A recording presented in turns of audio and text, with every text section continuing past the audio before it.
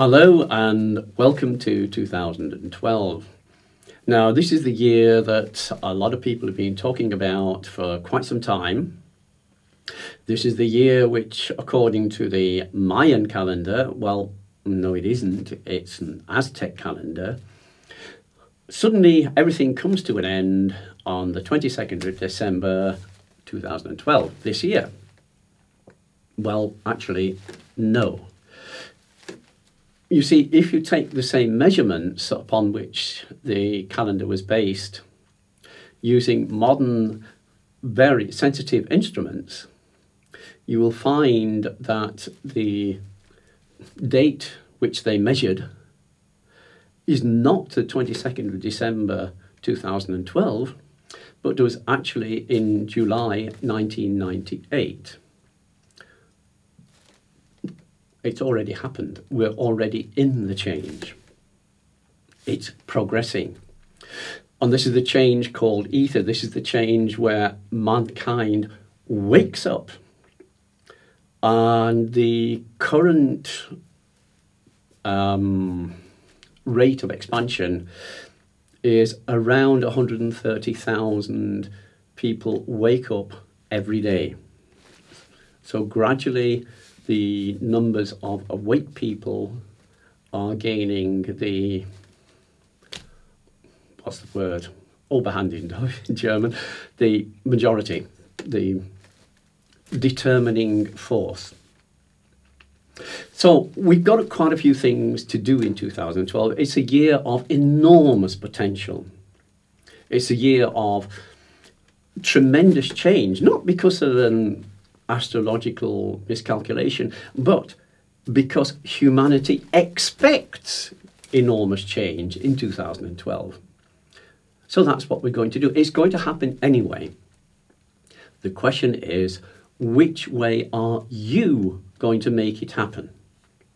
Now, you can make it happen by being a victim and let them roll over you, let um, Federal Emergency Management Agency put you in their concentration camps. Now, I know they've been denying that they exist for years, but a few weeks ago they started advertising for personnel to man them. And there are over 700 concentration camps spread across North America with capacity in excess of 20 million people. Now, why does North America need prison camps with a capacity of 20 million people unless they're expecting to do something nasty to everybody, including you. Do you want to do it or do you want to do something else?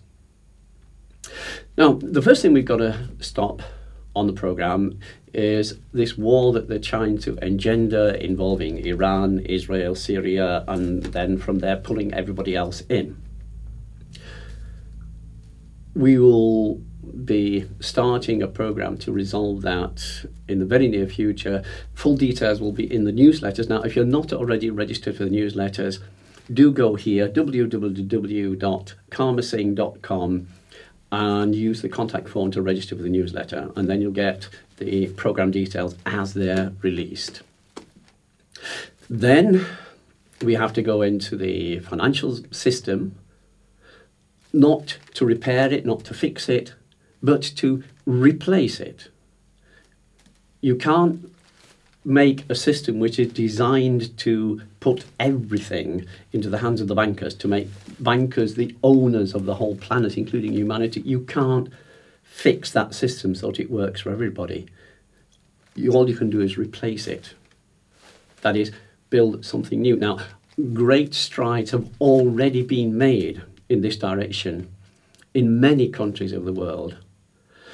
It's just a case now of making everyone aware of them and your choice to use that which works for humanity instead of that which only works for the bankers and their friends in who own the US government and most other uh, first world governments. So these are the first two things on the program. Expect a little later in the year a lot of propaganda to convince you that there is a new sort of plague about to descend upon humanity, and you've got to spend billions and billions of pounds and dollars and euros and whatever on some sort of quack nostra from the pharmaceutical conglomerate. Mm-mm. Forget it. The whole fairy tale of infectious disease has no scientific base whatsoever. You can even see in the medical statistics themselves from the people who come into contact with the so called disease generating or the dangerous um, bacteria or virus, 96 to 99% of those people are completely unaffected by it. That shows you that the virus or the bacterium or whatever is not and could never possibly be the source of the problem. The problem is somewhere else, and that we shall be dealing with in the course of this year in some considerable detail. So, a lot to do, but the first thing I want to start with is this little thing here. Now, if you want to remain controlled, manipulated, if you enjoy having no responsibility and, and no authority in your life, then switch off now. Because this is about changing your inherited energy structure, not the DNA, but the causational structure for the DNA, to make it very, very much more difficult to control and to manipulate you.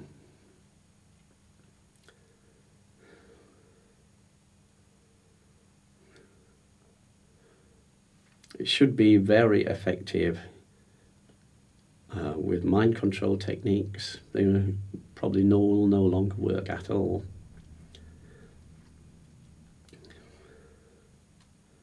It will certainly greatly weaken the effects of HAARP, if not completely eliminate them.